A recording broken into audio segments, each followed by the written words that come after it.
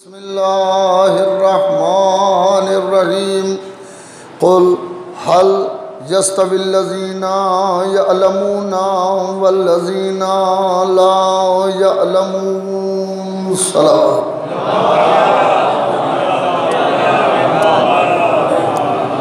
قرآن مجید کا بیان اور قرآن مجید کی یہ آیت صبح قیامت تک انسانی برادری کے لیے اور خاص طور پر مسلمانوں کے لیے مشعل راہ ہے اور سرمایہ حیات ہے۔ اس آیت میں پروردگار عالم نے جس انداز سے گفتگو کی ہے اور جو پیغام دیا ہے، وہ پیغام انسانی ضرورت بھی ہے اور انسانی فطرت بھی ہے۔ قل حل یستوی الذین یعلمون والذین لا یعلمون اے میرے حبیب، آپ کہہ دیں حل یستوی الذین کیا وہ لوگ برابر ہیں؟ حل یستوی الذین یعلمون وہ لوگ کیا برابر ہیں؟ وہ لوگ کہ جو جانتے ہیں والذین لا یعلمون اور جو کہ نہیں جانتے ہیں یعنی قرآن نے ایک ایسی بات کہی کہ اے میرے حبیب آپ کہہ دیں کہ کیا جاننے والے اور نہ جاننے والے دونوں برابر ہیں؟ یہ ایسا سوال تھا جو کفار مکہ سے کیا گیا سامنے والوں سے کیا گیا۔ اور وہ لوگ جو پیغمبر کا انکار کر رہے تھے، مگر اس سچائی کا انکار نہ کر سکے۔ یعنی ان سے یہ بات کہی جا رہی تھی کہ آپ یہ کہہ دیں، آپ ان سے یہ پوچھیں کہ کیا جاننے والے اور نہ جاننے والے دونوں برابر ہوتے ہیں؟ وہ لوگ جو اہل علم ہیں اور وہ لوگ جو اہل علم نہیں ہیں، وہ لوگ جو کسی چیز کو جانتے ہیں اور وہ لوگ جو کسی چیز کو نہیں جانتے ہیں، کیا دونوں برابر ہو سکتے ہیں؟ ان جوہلا نے بھی اس کا جواب وہی دیا کہ اللہبنا کے لال عبداللہ کے جالے جائے۔ جاننے والے اور نہ جاننے والے دونوں برابر نہیں ہو سکتے۔ اس لیے کہ اس کا نقص یہ ہے کہ وہ نہیں جانتا ہے اور اس کا کمال یہ ہے کہ یہ جانتا ہے۔ صلوات پڑھے محمد و علیہ محمد۔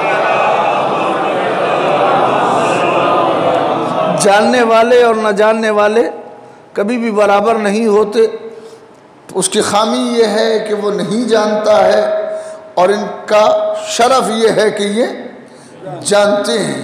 جب جاننے والے اور نہ جاننے والے برابر نہیں ہوتے، تو اب سوال یہ پیدا ہوتا ہے کہ پروردگار عالم، یہ بات تو سچ ہے کہ جاننے والے اور نہ جاننے والے برابر نہیں ہوتے، لیکن ذریعہ علم کیا ہے، وسیلہ علم کیا ہے۔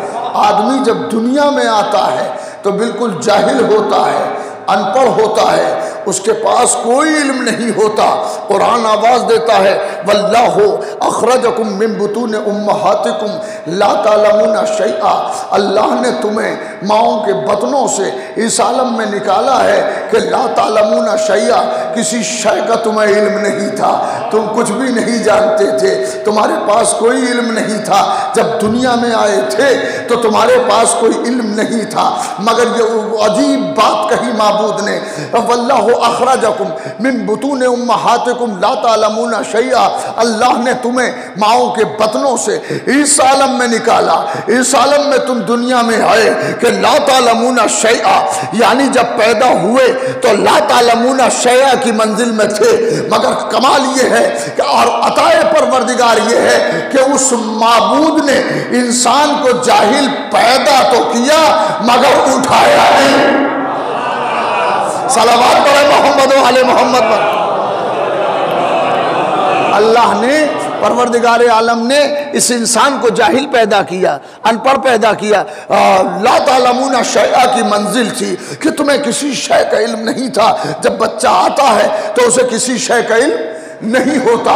حد یہ ہے کہ علم تو علم ہے، اگر دادی ماں سکھاتی ہے، رشتوں کو تو یہ رشتوں کو جانتا ہے۔ اور اگر نہ سکھائے تو رشتوں تک کو نہیں جانتا ہے۔ کون خالو ہے، کون ماموں ہے، کون پھوپا ہے، کون بہن ہے، کون دادی ہے۔ جب تک اس کو نہ بتایا جائے، تب تک یہ رشتوں تک نہیں پہنچتا۔ اسے رشتے معلوم نہیں ہوتے۔ اور جیسے جیسے اگر ماں دادی کہہ رہی ہے، تو بچہ بھی دادی کہہ رہا ہے۔ ماں پھوپھی کہہ رہی ہے، تو بچہ بچہ بھی پھوپھی کہہ رہا ہے یعنی جو بڑے کہتے جاتے ہیں، بچہ عمل کرتا جاتا ہے۔ جو بڑے کہتے جاتے ہیں، بچہ اس پر عمل کرتا جاتا ہے۔ ایک ہی لفظ بولوں گا اور زندگی بھر یاد رکھنے کے لیے بچہ وہ کرتا ہے کہ جو بڑے کرتے ہیں، بچہ وہ عمل کرتا ہے۔ جو بچے بچہ وہ کرتا ہے جو بڑے اسے بتاتے ہیں۔ اس کے معنی یہ ہوئے کہ انسان فطرتن مقلد ہے، مجتہد نہیں ہے۔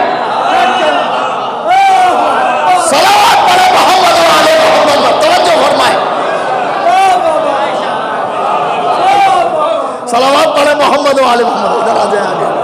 تو اور فرمایا آپ نے؟ ارے، ابو بھائی آگے آ جائیے، تھوڑا سا بہت دنوں کے بعد مجلس پڑھ رہے ہیں۔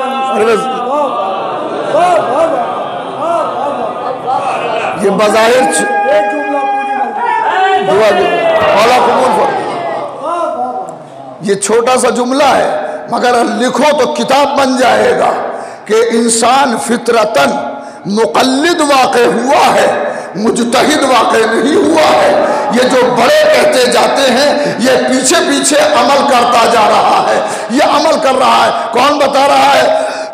بڑے بتا رہے ہیں اور یہ عمل کرتا جا رہا ہے۔ یعنی جب آیا تھا تو بالکل جاہل تھا۔ اسے کسی شے کا علم نہیں تھا، مگر یہ اس کا لطف ہے، اس کا کرم ہے کہ اس نے اسے جاہل پیدا تو کیا، مگر جاہل رکھا نہیں، بلکہ جاہل رکھا نہیں، بلکہ قدرت نے آواز دی۔ واللہ اخرجکم من بطون امہاتکم لا تعلمون شیعہ اور اللہ نے تمہیں ماؤں کے بطنوں سے اس عالم میں نکالا ہے کہ لا تعلمون شیعہ کسی شے کا تمہیں علم نہیں ہے۔ وَجَعَلَ لَكُمُ السَّمْعَ وَالْأَبْصَارَ وَالْأَفْعِدَةَ لَعَلَّكُمْ تَشْكُرُونَ۔ اور اس اللہ نے تمہارے لیے سماعت کو بنایا، بصارت کو بنایا، دلوں کو بنایا، تاکہ تم شکر گزار ہو جاؤ۔ صلوات پڑھے محمد و علیہ محمد پر۔ توجہ ہے وَجَعَلَ لَكُمُ السَّمْعَ وَالْأَبْصَارَ وَالْأَفْئِدَةَ لَعَلَّكُمْ تَشْكُرُونَ. تو اس نے تمہارے لیے سماعت کو بنایا، اس نے تمہارے لیے کانوں کو بنایا، آنکھوں کو بنایا، دل کو بنایا لَعَلَّكُمْ تَشْكُرُونَ شاید کہ تم شکر گزار ہو جاؤ۔ تو اللہ نے کان دیے تھے، سننے کے لیے، آنکھیں دی تھی دیکھنے کے لیے اور دل دیا تھا شکر گزاری کے لیے جو اس لیے کہ اس نے جاہل پیدا ضرور کیا تھا، مگر اس نے کان دیے تاکہ کانوں سے علم حاصل ہو جائے۔ اس نے آنکھیں دی تاکہ آنکھوں سے علم حاصل ہو جائے۔ تو پتہ یہ چلا کہ کچھ علم ہے جو کان سے آتا ہے۔ توجہ ہے۔ کچھ علم ہے جو سن کے آتا ہے اور کچھ علم ہے جو دیکھ کے آتا ہے۔ تو اللہ نے اس کو پیدا تو کیا جاہل؟ ایک سلامات پڑھے محمد علیہ پھر سلامات پڑھے محمد علیہ محمد کو سنیے۔ اللہ نے اسے جاہل پیدا کیا، بالکل ان پڑھ پیدا کیا، لیکن اسے جاہل رکھا نہیں۔ وسیلہ علم عطا کیا۔ ایک وسیلہ علم کو کان کہتے ہیں، دوسرے کو آنکھیں کہتے ہیں۔ تو قدرت نے پہلے ہی دن طے کر دیا تھا۔ اسے ملے گا، جو وسیلے کو مانے گا۔ اللہ اکبر سلامات تو پڑھے محمد علیہ محمد۔ توجہ فرمائے۔ ایک علم ہے جو کانوں سے آتا ہے، کچھ علم ہے جو کانوں سے آتا ہے، اور کچھ علم ہے جو دیکھ کر کے آتا ہے۔ یعنی کان بھی وسیل علم ہے، اور آنکھیں بھی وسیلہ علم ہے۔ تو پہلے مرحلے میں کہا کہ ہم نے تمہیں جاہل پیدا کیا ان پڑھ پیدا کیا۔ معبود، یہ بات کہنے کی ضرورت کیا ہے؟ ان پڑھ پیدا کیا تو تو نے۔ پڑھا لکھا پیدا کرتا تو تو پیدا کرتا۔ نہیں، یہی نہیں ہے، بلکہ ایک جگہ کہتا ہے، ہم نے تمہیں مائے تافق سے پیدا کیا، اچھلتے ہوئے پانی سے پیدا کیا۔ ایک جگہ کہتا ہے الم نخلوقکم من ماء مہین۔ کیا ہم نے تمہیں حقیر پانی سے نہیں پیدا کیا؟ کیا ہم نے تمہیں حقیر پانی سے نہیں پیدا کیا؟ عجیب بات نہیں لگتی۔ پیدا کرنے والا کون ہے؟ اللہ۔ معبود جب تو نے پیدا کیا تو تو نے پیدا کیا ہے، چاہے باعزت پانی سے پیدا کیا۔ یا حقیر پانی سے پیدا کیا، یہ پیدا کرنے کے بعد انسان کو تانے کیوں دے سورہ مرسلات کی آیت ہے۔ انسان کو تانے کیوں دیے جا رہے ہیں؟ کہ یہ تانا نہیں ہے، اسے حد میں رکھنا ہے۔ ارے نہیں غور کرے۔ اسے حد میں رکھنا ہے اور حد میں اس لیے رکھنا ضروری ہے۔ علم نخلقکم من ماء مہین۔ کیا ہم نے تمہیں حقیر پانی سے نہیں پیدا کیا؟ یہ احساس تمہیں رہنا چاہیے کہ تمہاری پیدائش حقیر پانی سے ہوئی ہے تاکہ تم حد میں رہو۔ آدمی پیدا ہوا حقیر پانی سے مقابلہ اس کا کرتا ہے جسے خدا نے کعبے میں اتارا صلوات پڑھے محمد و آل محمد پر توجہ فرمائے یہ حقیر انسان اسے پیدا کیا پانی سے پیدا کیا پانی سے پیدا حقیر پانی سے پیدا کر کے اسے عزت دار بنایا اسے عزت عطا کی تاکہ یہ عزت دار بن جائے کیسے عزت دار بنا کا صاحب عزت اسے دولت سے نصیب ہوئی۔ کا خبردار دولت عزت نہیں دیتی شرافت عزت دیتی ہے۔ ارے غور تو کرے میں کیا کہہ رہا ہوں۔ دولت عزت نہیں دیتی، شرافت عزت دیتی ہے۔ دولت عزت نہیں دیتی، عبادت عزت دیتی ہے۔ جتنا تقوی بڑھتا جائے گا، اتنا عزت دار ہوتا جائے گا۔ سلامات پڑے محمد و آل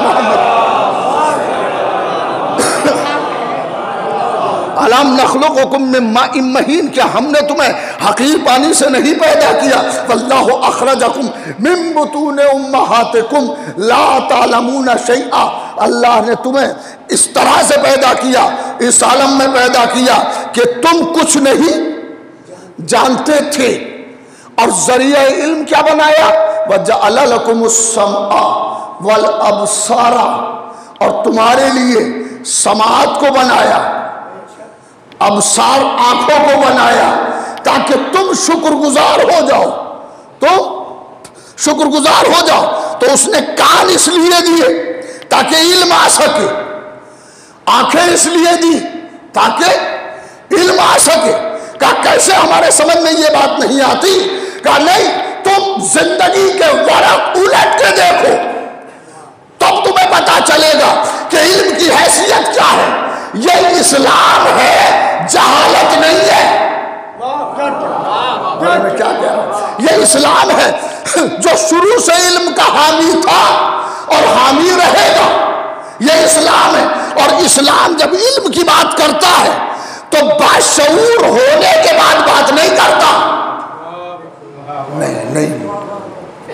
اسلام جب علم کی بات کرتا ہے تو انسان کے باشعور ہو جانے کے بعد کی بات نہیں کرتا۔ بلکہ وہ اس وقت بات کرتا ہے جب شعور میں کچھ نہ ہو۔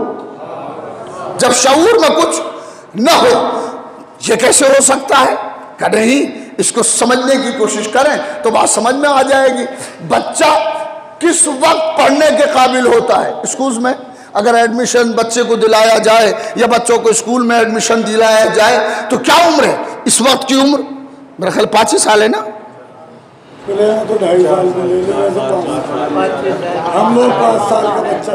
آپ لوگوں کی بات ہو رہی ہے، ورنہ مائیں تو چاہتی ہیں ایک سال کا باہر بھیج دیں۔ محمد محمد پر۔ پانچ سال۔ پانچ سال کے بچے کو لیا جاتا ہے اسکول میں۔ اس سے پہلے اس کا ایڈمیشن نہیں ہے۔ یہ دوسری دنیا میں جب آپ جائیں گے، اگر بچہ دو مہینے بھی کم رہ گیا ہے تو ایڈمیشن نہیں ہوگا۔ پانچ سال کا ایڈمیشن ہوگا۔ تو یہ بات طے کس نے کی؟ کیا جاہل لوگوں نے ان پڑھ لوگوں نے، نہیں، دانشوروں نے عقل مندوں نے یہ بات طے کی کہ بچہ سمجھدار جب ہوتا ہے، جب پانچ برس کا ہو جاتا ہے۔ پانچ برس سے پہلے بچہ سمجھدار نہیں مارا جانتا میں لفظ استعمال کر لوں، سمجھنا آپ کا کام ہے۔ جب تک پنج تنی نہ ہو جائے، بچہ سمجھدار نہیں ہوتا یہ پانچ برس کا بچہ ہوا، اب یہ سمجھدار مانا جا رہا ہے۔ اس کا ایڈمیشن ایزیلی ہو سکتا ہے۔ کیوں؟ اب یہ پانچ سال کا ہو گیا ہے۔ پانچ سال کا ہو گیا ہے۔ تو یہ فکر کس نے دی؟ دنیا کے جو دانشور تھے، دنیا کے جو پڑھے لکھے تھے، جو گڈ سیلری پانے والے تھے، ان لوگوں نے طے کیا کہ پانچ سال سے پہلے بچہ اس علاقے اس قابل نہیں ہوتا کہ اس پر بوجھ ڈالا جائے۔ پری ایجوکیشن ایک الگ سسٹم ہے، مگر ایجوکیشنل سسٹم جو ہے، وہ یہی ہے کہ پانچ سال میں بچہ سمجھدار ہوتا ہے، مگر یہ انسانی برادری ہے کہ جس کا بچہ پانچ سال میں سمجھدار ہوتا ہے، مگر اسلام پہلے دن ہی سمجھدار مانتا ہے۔ ایک کان میں آزاد ہوتی ہے، دوسرے میں آقابت صلوات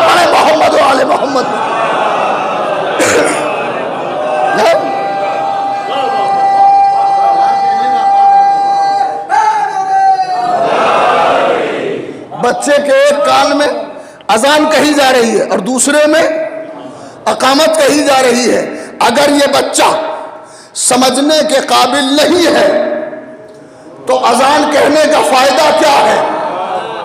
ارے سلامات پڑھے محمد و محمد پر۔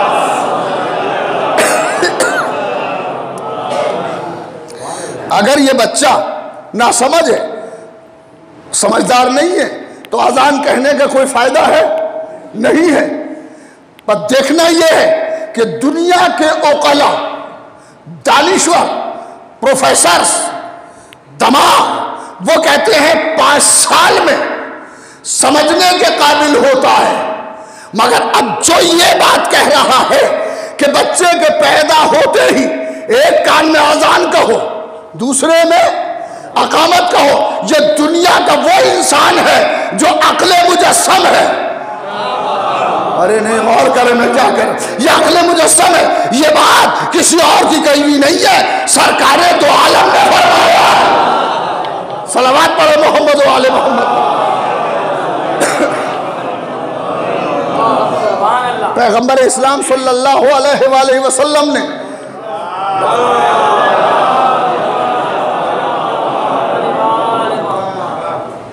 امام حسن علیہ السلام کے کان میں آزان کہی۔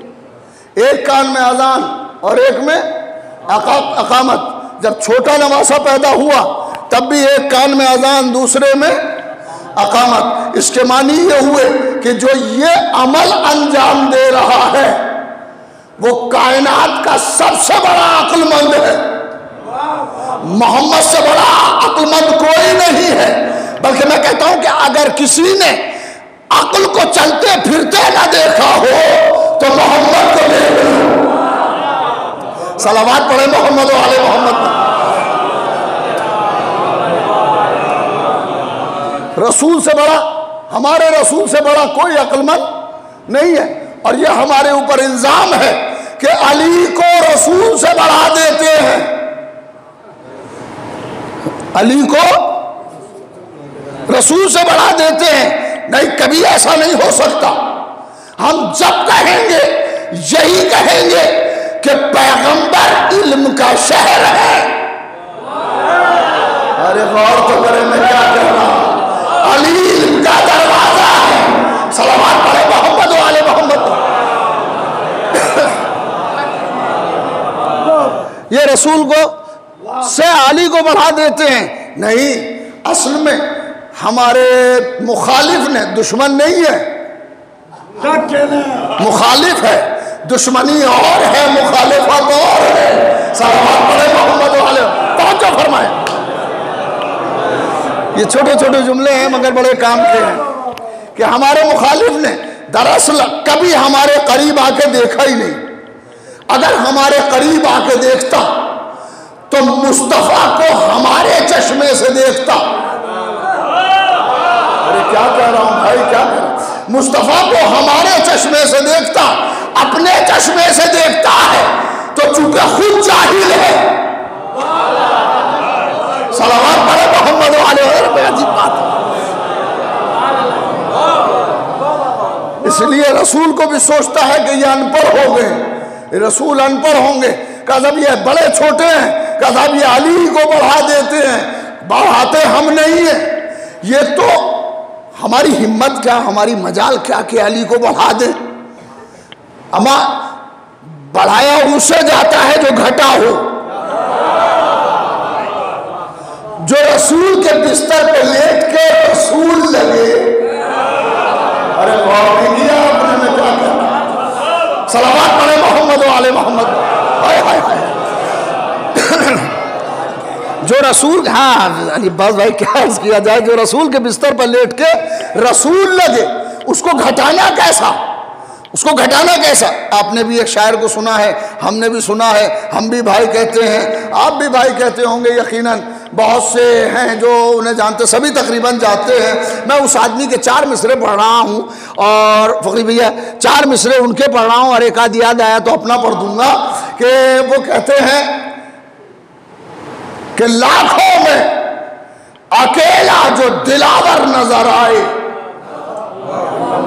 مصرا پہنچ رہا ہے آپ کو۔ دوسرا مصرا حاضر کر رہا ہوں۔ لاکھوں میں اکیلا جو دلاور نظر آئے، اس شخص کی تنہائی بھی لشکر نظر آئے۔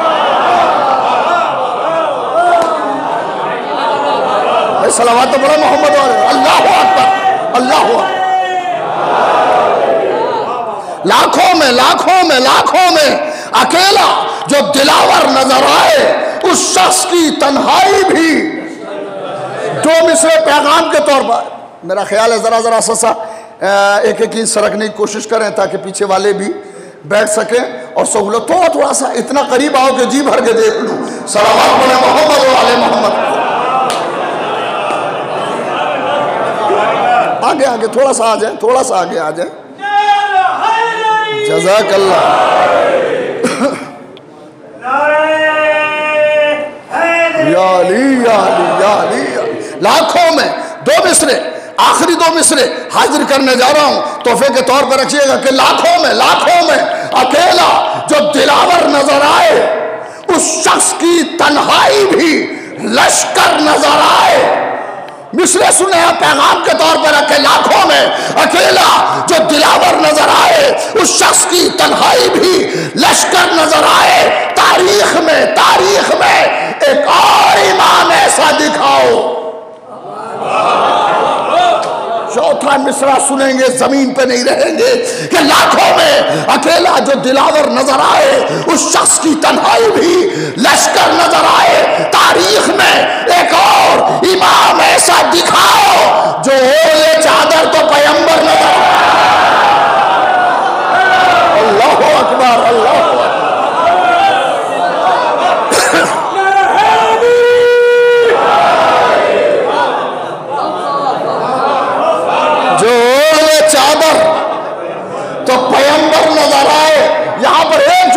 زیادہ نہیں رکوں گا نہیں یہاں پر۔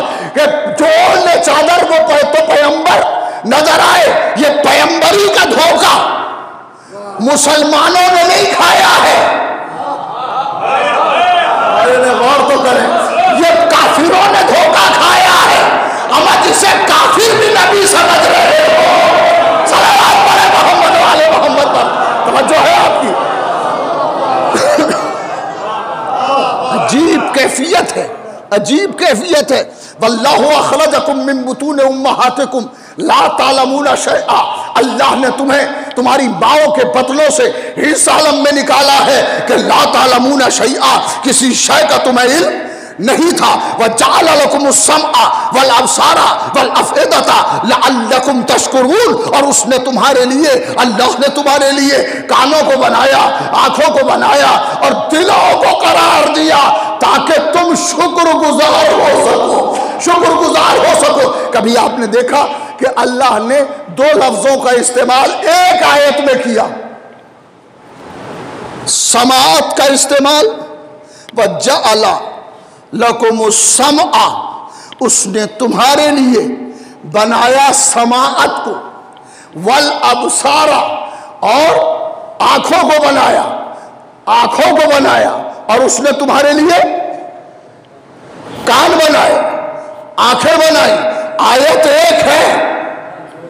ہائے ہائے، آیت ایک ہے، تو یقیناً منتہا بھی ایک ہوگا۔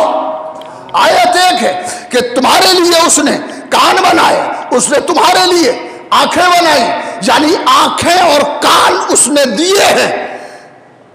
آیت ایک ہے۔ ایک آیت میں کان کا ذکر ہوتا اور ایک میں آنکھوں کا ذکر ہوتا، تو مطلب الگ ہوتا۔ مگر ایک ہی آیت میں آنکھوں کا بھی ذکر ہے، ایک ہی آیت میں کانوں کا بھی ذکر ہے۔ تو اس کے معنی یہ ہوئے کہ کوئی مقام ایک ایسا آئے گا۔ کہ جہاں آنکھیں بھی کام کر رہی ہوگی۔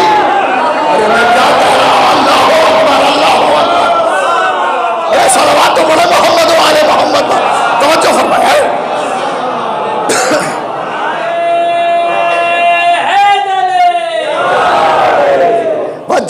وَجَعَلَ لَكُمُ السَّمْعَ وَالْأَبْصَارَ وَالْأَفْئِدَةَ لَعَلَّكُمْ تَشْكُرُونَ اس نے تمہارے لیے سماعت کو بنایا، اس نے تمہارے لیے آنکھوں کو بنایا، کیوں بنایا؟ تاکہ تم شکریہ ادا کر سکو۔ شکر گزار ہو جاؤ۔ ایک ہی آیت میں، ایک ہی آیت میں سماعت کا بھی ذکر ہے، بصارت کا بھی ذکر ہے۔ تو کوئی مرحلہ اسلام میں ایسا ہونے والا ہے کہ جہاں سماعت بھی کام کر رہی ہو بصارت کام کر رہی ہو وہ پوری تاریخ میں ایک ہی مرحلہ ہے کہ جب رسول غدیر کے ممبر پر ہے، ہاتھوں میں علی کو صلوات پڑھے محمد و آل محمد۔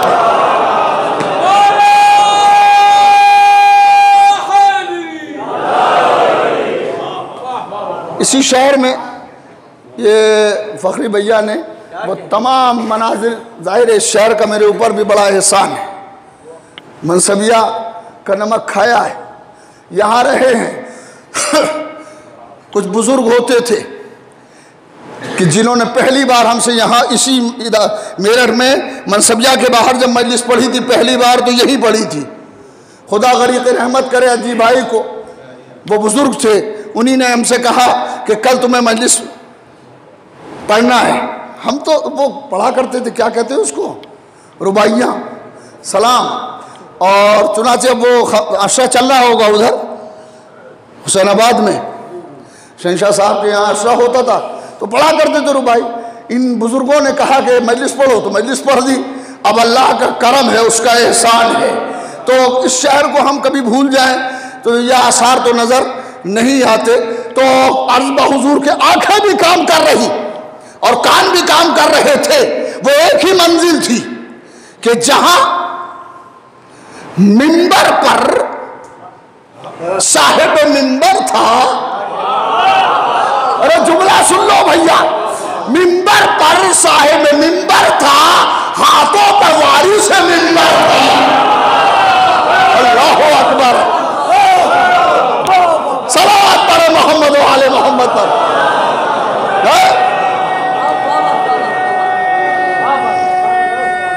نہیں بیٹے، نہیں۔ شاباش جیتے رہو۔ ہزاروں برس کی عمر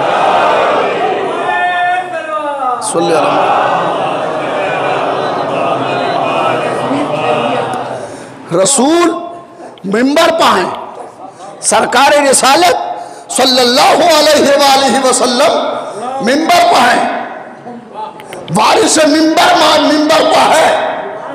اس لیے کہ وارث سے ممبر صاحب ممبر صاحب ممبر کے ہاتھوں پہ وارث ممبر ہے۔ تاکہ قیامت تک کے لیے پہچان لیا جائے۔ اگر کوئی اور نظر آئے ممبر پر، تو وہ غاصب ہوگا۔ ارے میں کیا کہہ رہا ہوں اگر کوئی اور ممبر پر نظر آئے، تو وہ غاصب ہوگا۔ وارث ہاتھوں پہ ہے۔ یہی تو سبب تھا کہ امام حسن نے حاکم سے کہہ دیا تھا، اتر میرے باپ کے ممبر سے اللہ اکبر اللہ سلام پڑے محمد و عالم توجہ فرمائے۔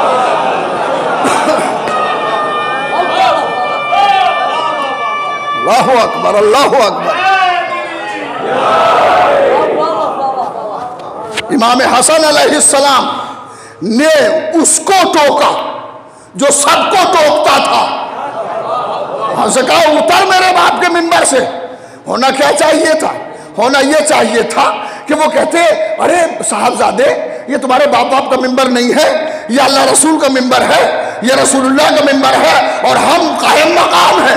مگر کمال یہ ہے کہ جیسے ہی انہوں نے ٹوکا، وہ ممبر سے اترے۔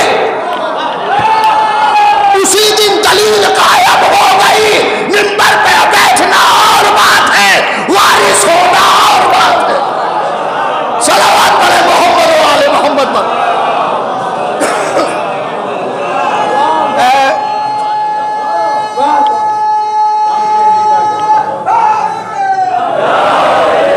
مجھے فخری بھیا، مجھے خدا تمہیں ہزاروں برس کی عمر دے۔ تم نے ماضی کے ورق الٹ دیے ایک دم سے۔ یہاں محفل ہوتی تھی، یہاں تخت ہوتا تھا، یہاں بیٹھا کرتے تھے۔ بہت سے لوگ تھے اس میں۔ ہائے ہائے سلامات پڑھے محمد و آل محمد۔ میں ایک شعر سنا رہا ہوں آپ کو۔ وارث ممبر صاحب ممبر ممبر پہ وارث بھی ہے اور صاحب بھی ہے، صاحب ممبر بھی۔ ایک ہی موقع ہے تاریخ میں کہ ممبر بھی ہے، صاحب ممبر بھی ہے اور وارث ممبر بھی ہے۔ تاریخ میں ایک ہی موقع ہے کہ ممبر بھی ہے، صاحب ممبر بھی ہے اور وارث ممبر بھی ہے۔ رفیہ شبنم عابدی کا شعر پڑھو زندگی کہ مسجدوں کی سیڑھیوں پر بیٹھنے والے فقیر۔ ارے دوسرا مصرع قیامت ہے۔ ایک سلامات پڑھے محمد والے راحت اندوری کا شعر ہے۔ نہیں رفیہ کا ہے۔ اچھا راحت کا چلو راحت کا ہوگا۔ حالانکہ وہ راحت بچارہ ہے۔ چلے ٹھیک ہے۔ تو مسجدوں کی سیڑھیوں پر مسجدوں کی دوسرا مصرع، سنیں گے، زمین پہ رہیں گے، بہت بڑا شیر مصرع ہے کہ مسجدوں کی مسجدوں کی سیڑھیوں پر اب جو جہاں بیٹھا ہے، یا کھڑا ہوا اسے کھڑا رہنے دے۔ اس سے کہ بیان جاری ہے، مسجدوں کی مسجدوں کی سیڑھیوں پر بیٹھنے والے فقیر، دوسرا مصرع۔ مسجدوں کی سیڑھیوں پر بیٹھنے والے فقیر۔ کیا خبر تھی ایک دن ممبر اٹھا لے جائیں گے؟ اللہ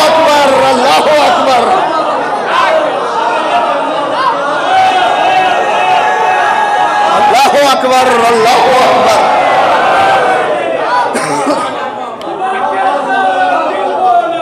علی مولا علی مولا۔ علی مولا علی مولا۔ علی مولا علی مولا۔ علی مولا۔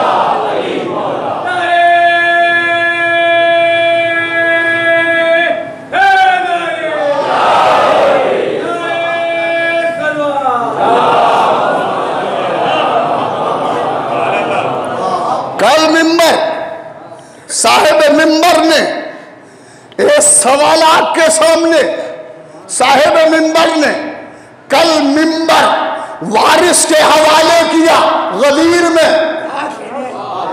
غدیر میں صاحب ممبر نے۔ اچھا ممبر بھی ایسا نہیں ہے کہ پرانا ہو۔ ارے، غور تو کرے، غور تو کرے۔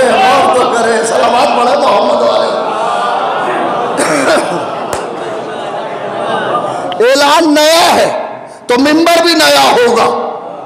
کبھی یہ نہ کہہ دو کہ صاحب ایسا ممبر، ویسا ممبر، ایسا ممبر۔ اب یاد رکھنا، ممبر بنا ہی فضیلت علی کے لیے ہے۔ غور کرے میں کیا کہہ رہا ہوں؟ صلوات پڑھے محمد و آل محمد پر۔ ممبر بنا ہے فضائل مولا کے لیے۔ ممبر بنا ہے فضیلت مولا کے لیے۔ جس ممبر سے فضائل مولا بیان نہ ہو، وہ لکڑیوں کا ڈھانچہ تو ہو سکتا ہے۔ ممبر نہیں ہو سکتا۔ ارے سلامات پڑھے محمد و آل محمد۔ پر ہائے ہائے، سنیں۔ یہ میں اپنی طرف سے رئیس جارجوی کی زبان نہیں ہے، یہ امام کا لہجہ ہے۔ رئیس پیرو ہے، تابع ہے، اتباع کرنے والا ہے۔ یہ زبان اتباع اہل بیت میں چلتی ہے۔ یہ لفظ میرے نہیں ہے کہ فضائل مولا جہاں سے بیان نہ ہو، وہ ڈھانچہ ہے لکڑیوں کا ممبر نہیں ہے، چنانچہ جب شام کے دربار میں سید سجاد پہنچے اور وہ خطیب خطبہ دے رہا ہے، تو خطیب کے فوراً بعد سید سجاد نے یہ نہیں کہا کہ اسود علی المنبر، کیا میں بھی ممبر پہ چلا جاؤں؟ بلکہ یزید سے کہا، کیا میں بھی ان لکڑیوں پہ بلند ہو سکتا ہوں؟ صلوات پڑھے محمد و آل محمد پر۔ اللہ اکبر۔ میں زیادہ دیر نہیں رکوں گا، اس لیے کہ ایک دوسری مجلس بھی ہونا ہے بہرحال، اور یہیں سے ہم لوگ بھی جایا کرتے تھے۔ اس مجلس کو کرنے کے لیے تبرک بچپن تھا، تبرک کھاتے چلے جاتے تھے۔ صلوات پڑھے محمد والے محمد۔ ہاں بھائی، مولا کے تبرک پہ پلے یہی زندگی ہے۔ اور اسی پہ آسرا ہے کہ خدا پھر تبرک عطا کرے۔ ارے بڑے بڑوں نے بھائی، یہی کیا۔ بڑے بڑے تبرک پہ پلے ہیں۔ کچھ ساتھی ہیں، کچھ ان سے بھی بڑے ہیں۔ صلوات پڑھے محمد والے تاجہ فرمائے۔ ہاں؟ تو عرض بحضور میں عرض کر رہا تھا، کس قدر لہجہ ہے؟ کیا میں بھی ان لکڑیوں پہ بلند ہو سکتا ہوں؟ کیا میں بھی ان لکڑیوں پر اب ممبر نہیں ہے؟ جہاں خدا رسول کا تذکرہ نہ ہو، اہل بیت کا تذکرہ نہ ہو وہ ممبر نہیں ہوتا لکڑیاں ہوا کرتی ہے لکڑیوں کا ڈھانچہ اور ہے ممبر اور ہے صلوات پڑھے محمد و آل پر کیا میں بھی کیا میں بھی بلند ہو سکتا ہوں؟ روک دیا گیا۔ روکا گیا۔ کہ نہیں، تم نہیں خطبہ دے سکتے۔ کمال ہے۔ وارث ممبر سے کہا جا رہا ہے کہ تم خطبہ نہیں دے سکتے۔ مگر جب برا وقت آتا ہے تو کہہ کے نہیں آتا۔ اور یہ حاشیہ نشین ہی لاتے ہیں۔ ارے، بہت بڑا جملہ ہے، چھوٹا سا نہیں ہے، بہت بڑا ہے۔ حاشیہ نشین جو گرد و پیش بیٹھنے والے ہوتے ہیں، برا وقت انہی کے مشوروں سے آتا ہے۔ یزید نے کہا، نہیں، تم نہیں اس پہ ممبر پہ جا سکتے، مگر کچھ برابر میں بیٹھے ہوئے تھے۔ ارے، انہوں نے کہا، جانے دے، قیدی ہے تیرا۔ مگر اسے کیا پتا تھا کہ یہ قیدی ہو جائے گا۔ ہائے ہائے، ارے سلامات پڑے محمد و قیدی یہ ہو جائے گا۔ تو سمجھ رہا ہے کہ وہ قیدی ہے۔ وہ قیدی اس کے ہاتھوں میں زنجیریں ضرور ہیں، مگر وہ آزاد حال ہے۔ آزاد حالوں کا امام ہے۔ وہ قیدی نہیں ہے۔ اچھا اچھا جاؤ، ممبر پہ جاؤ۔ اور اب جو واری سے ممبر ممبر پہ آیا، تو لہجہ سلونی میں بولا۔ ارے سلامات پڑھے محمد والے محمد پر۔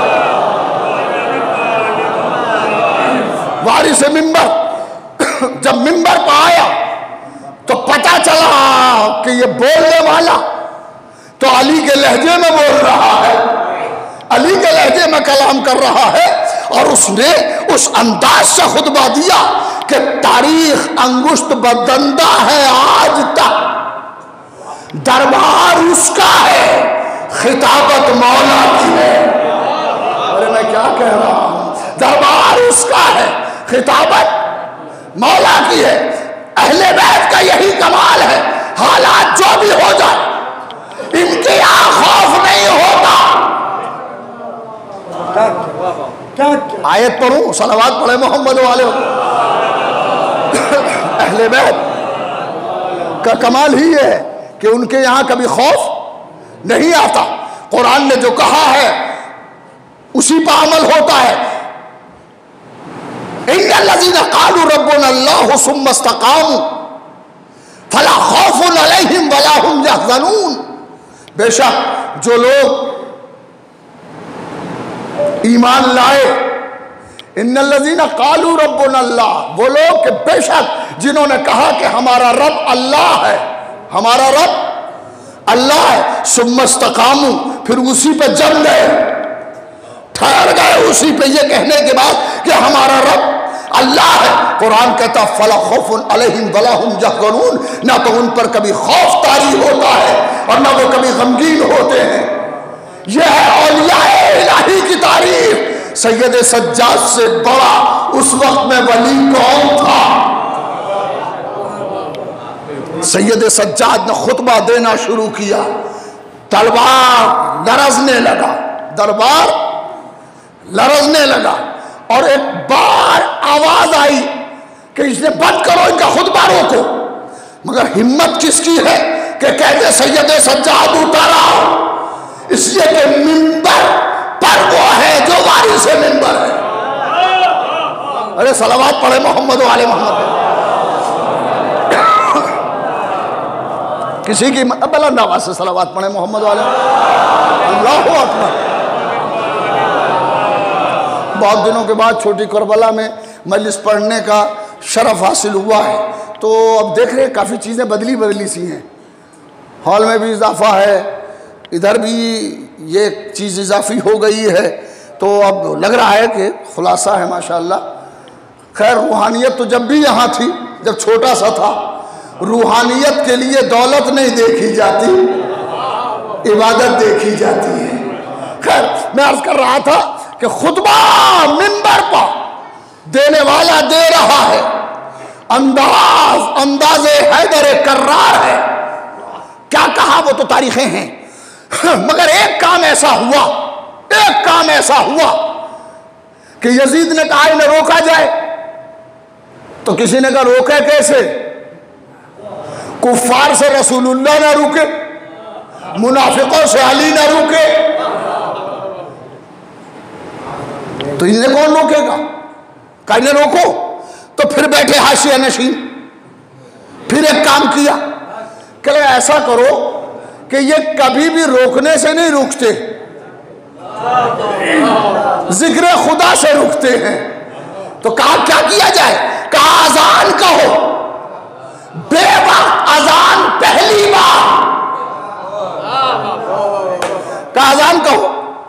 اچھا اب میں اب تاریخی ایک حقیقت آپ کی خدمت میں گزارش کر رہا ہوں۔ جب جائیں سیریا، تو اس کو محسوس کیجیے گا۔ خود مجھے بھی میرے شاگرد نے متنبع کیا اس وقت۔ کہ حضور ذرا یہاں رک جائیں، جناب یہاں رکیں، ہم نے کیا بات ہے، ہم بابو ساتھ پہ کھڑے ہوئے تھے، کہا ذرا سا رک جائیے، ابھی ایک بجنے والا ہے، ابھی اذان کی آواز آئے گی۔ کچھ دیر میں اذان کی آواز آئی، تو اس نے کہا حضور یہ سن رہے ہیں آپ؟ ہم نے کہا ہاں سن رہے ہیں، کیا ہے اذان؟ کا اذان نہیں ہے۔ یہ ایک وقت میں سات معزن اذان کہہ رہے ہیں۔ کتنے؟ سات معزن ایک وقت میں اذان کہہ رہے ہیں۔ تو ہم نے کہا، اس کا ریزن کیا ہے؟ اس کی حکمت کیا ہے؟ کا حضور ہوا یہ تھا کہ جب سید سجاد کو روکنے کا منصوبہ بنا، تو مجمع بہت تھا۔ آواز یہاں سے وہاں تک کیسے جائے گی؟ تو سات مؤذنوں نے بیک وقت آزان کہی تاکہ سید سجاد رک جائیں مگر کمال یہ ہے فیل یزید کا تھا۔ کارنامہ سید سجاد کا ہے۔ اور انہیں غور نہیں کیا میں کیا کہہ رہا ہوں۔ ارے سلامات تو پڑے محمد علیہ۔ اللہ اکبر اللہ اکبر۔ فیل یزید کا تھا، منصوبہ یزید کا تھا کہ روک دیا جائے۔ سات معذین اذان کہیں مگر معجزہ سید سجاد کا کہ آج تک ساتھ ہی کہیں گے، تاریخ میں کودنا تمہارا کام ہے، تاریخ بنانا ہمارا کام ہے۔ صلوات پڑھے محمد والے ہوتا ہی نہیں ٹھہرے۔ ٹھہرے۔ آل محمد کا کمال یہ ہے کہ یہ جہاں قافلے کو روک دیتے ہیں، قافلہ وہیں پر رک جاتا ہے۔ صدیہ گزر گئی آج بھی علی اکبر اٹھارہ سال کے ہیں۔ ارے، غور نہیں کیا میں کیا کہہ رہا ہوں بھائی؟ صدیہ گزر گئی۔ مگر علی اکبر اٹھارہ سال کے ہیں صدیہ گزر گئی، مگر اصغر چھ مہینے کے ہیں۔ اما جو عمروں کو روک دے، وہ تاریخ کو روک دے تو حیرت کیا ہے؟ صلوات پڑھے محمد و آل محمد۔ اور پھر اس کے بعد اذان ہوئی۔ کتنے لوگوں نے اذان دی؟ سات لوگوں نے مختلف کونوں سے کھڑے ہو کے پکارا۔ اللہ اکبر۔ جیسے آواز آئی اللہ اکبر، سید سجاد نے فرمایا، اللہ اکبر۔ اور جب مؤذن نے کہا، اشہد اللہ الہ الا اللہ، تو سید سجاد نے فرمایا، بے شک میں بھی گواہی دیتا ہوں کہ اللہ ایک اور جیسے مؤذن نے کہا، اشہد ان محمد رسول اللہ. میں گواہی دیتا ہوں کہ محمد اللہ کے رسول ہے تو اب سید سجاد نے سکوت توڑا اور یزید کی طرف دیکھ کے فرمایا، بتا، یہ تیرے جد کا نام ہے۔ اللہ اکبر۔ بتا، یہ تیرے جد کا نام ہے۔ یا میرے جد کا نام ہے اور اگر تو یہ کہے کہ تیرے جد کا نام ہے تو تو جھوٹا ہے اور اگر یہ کہے ہمارے جد کا نام ہے تو پتا ہم قیدی کیوں ہیں اللہ اکبر اللہ اکبر۔ بتا ہم اسیر کیوں ہیں؟ ہمارے ہاتھوں میں ہتکڑیاں کیوں ہیں؟ اللہ اکبر، سید سجاد، وہ بیمار امام جو کربلا سے چلا تو اپنے باپ کے لاشے کو حسرت سے دیکھتا ہوا چلا۔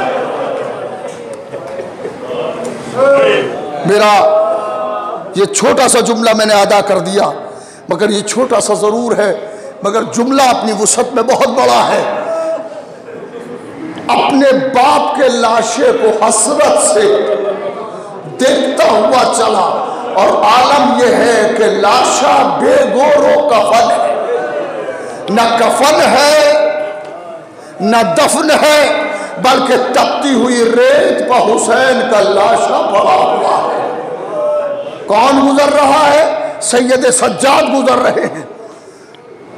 سید سجاد گزر رہے ہیں۔ بس نام سنتے ہی آپ کی آنکھوں میں آنسو آ گئے۔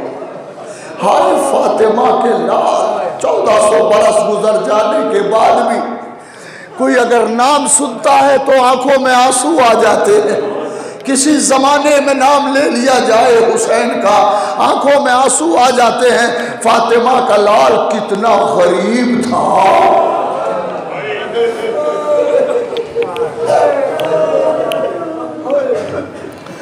ازاداران مظلوم کربلا، کبھی سوچئے کہ سید سجاد، امام حسین کس قدر بے کسی۔ حسین کی بے کسی یہ تھی کہ جوان بیٹے کا لاشا اٹھایا، قاسم کی پاما لاش اٹھائی۔ بتیس برس کے بھائی کے بازو اٹھائے اور پھر علم کو لے کے خیمے میں آئے۔ علم کا خیمے میں لانا آسان کام نہ تھا۔ حسین جب علم لے کے آئے تو سکینہ نے بچوں سے کہا، بچوں، چچا آ گئے، پانی آ گیا۔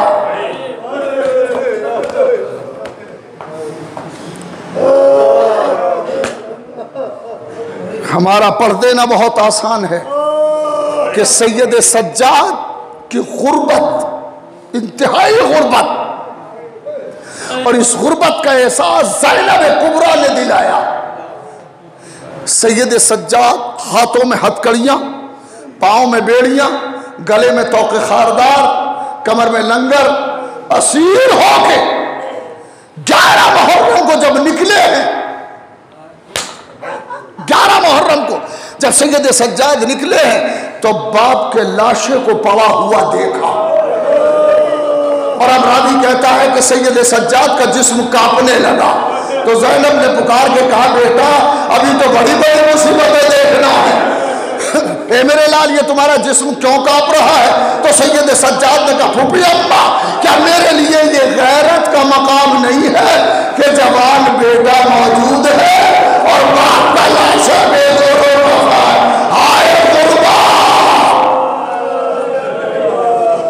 بے پھوپھی کیا میرے لیے یہ غیرت کی بات نہیں ہے کہ جوان بیٹا موجود ہے اور باپ کا لاشا بے گور و کفن پڑا ہے۔ زینب دو قدم آگے بڑھی، بیمار کو گلے سے لگایا میرے لال میرے بابا نے بتایا تھا کہ شہادت کے بعد قبے تعمیر ہوں گے سید سجاد وہاں سے نکلے تو ہیں، مگر سید سجاد کس کیفیت میں نکلے ہیں؟ یہ سمجھنا بہت مشکل ہے۔ زینب کس کیفیت میں نکلی ہے؟ یہ سمجھنا آسان نہیں ہے۔ بھائی کا لاشا پڑا ہوا ہے، باپ کا لاشا پڑا ہوا ہے۔ ہر لاشے کو زینب بھی حسرت سے دیکھ رہی ہے۔ سید سجاد بھی حسرت سے دیکھ رہے ہیں اور راوی کہتا ہے، یہ لٹا ہوا قافلہ چلا، کوفے میں آیا، کوفے میں آیا، یہ کوفہ وہ شہر ہے کہ جہاں زینب شہزادیوں کی طرح رہی۔ تاریخ کا بیان یہ ہے کہ جب علی علیہ السلام نے کوفے کو دار السلطنت بنایا دار الخلافہ بنایا، جب کوفے کو مولا نے دار السلطنت بنایا تو ہاں، امام حسن سے فرمایا، بیٹا، اپنی بہنوں کو مدینے سے لے آؤ۔ اور بیٹا، یہ خیال کرنا۔ اور تمہیں یہ خیال رہے کہ براہ راست زینب کو نہ لانا کوفے میں۔ میں زینب کا استقبال کروں گا۔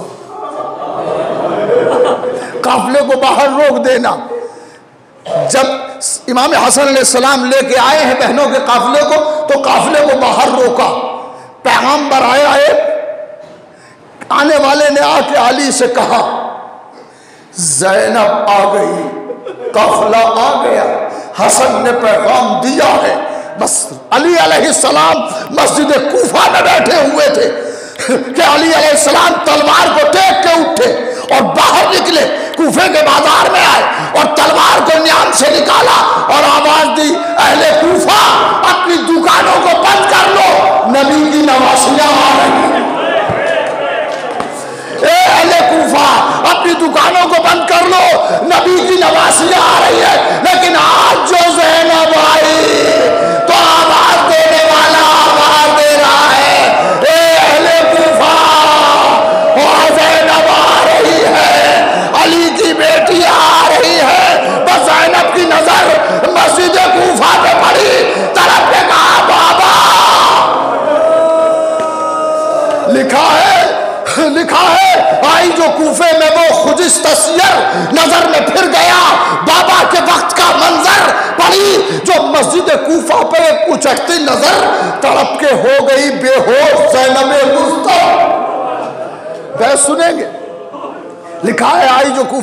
خجس تصیر نظر میں پھر گیا بابا کے وقت کا منظر، پڑی جو مسجد کوفہ پر ایک اچھتی نظر تڑپ کے ہو گئی بے ہوش، زینب مستر جو ہوش آیا تو بولی، فلک ستائی ہوں، میں اپنے شہر میں ہو کر رسیر آئی آج زینب!